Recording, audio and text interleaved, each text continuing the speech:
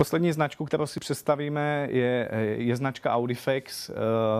Jedná se o, jedná se o kytarový software, basový software a taky software pro, pro, pro klávesy, my si představíme kytarový software.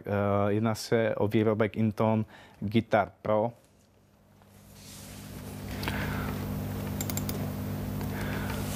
Grafické rozhraní vypadá následovně.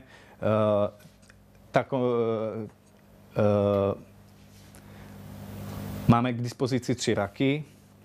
V prvním měníme prakticky opět.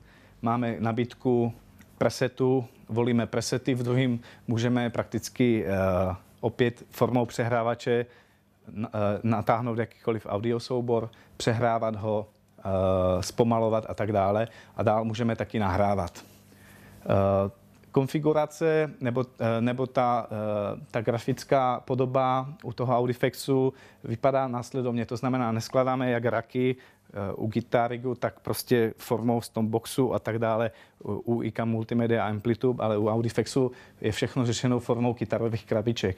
V téhle verzi máme k dispozici až 630 kytarových krabiček, můžeme je navzájem kombinovat, Uh, uh, takže opět možností je moc.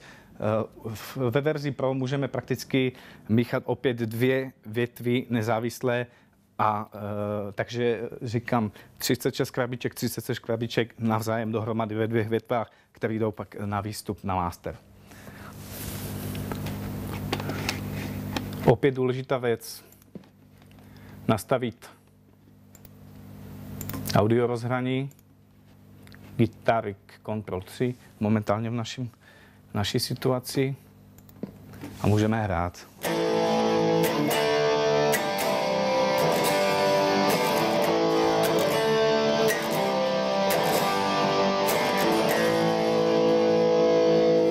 Jednotlivé krabičky můžeme vypínat, zapínat jednodušším kliknutím. Nebo pokud používáme MIDI pedál, tenhle program plně podporuje MIDI, uh, MIDI komunikaci, takže není problém. Listování v daných presetech je jednoduchý a opět můžeme